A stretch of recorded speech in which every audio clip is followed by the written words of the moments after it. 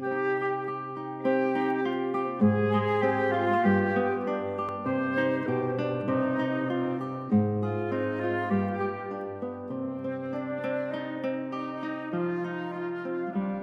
mừng theo Thánh Marco. Khi ấy, Chúa Giêsu hiện ra với 11 môn đệ và phán: Các con hãy đi khắp thế gian, rao giảng tin mừng cho mọi tạo vật. Ai tin và chịu phép rửa thì sẽ được cứu độ. Ai không tin sẽ bị luận phạt. Và đây là những phép lạ đi theo những người đã tin.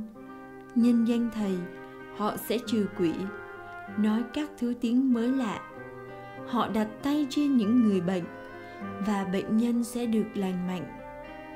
Vậy, sau khi nói với các môn đệ, Chúa Giêsu lên trời và ngự bên hữu Thiên Chúa.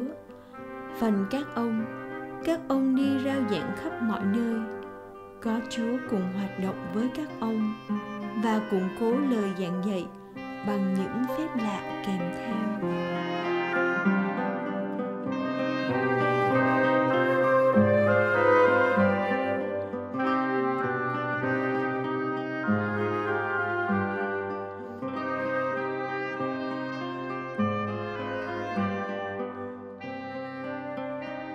nước trời tại thế nếu giáo hội là nước trời vì ở đó giáo hội loan báo tình thương và dẫn con người tới gặp Chúa Giêsu, nước trời của chúng ta, thì mỗi gia đình Kitô giáo phải là một nước trời tại thế để dẫn chúng ta đến nước trời mai hậu.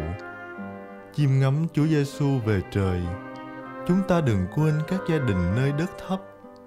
Lạy Chúa, xin cho mỗi gia đình trở nên một cộng đoàn sai đi, để danh Chúa được cả sáng.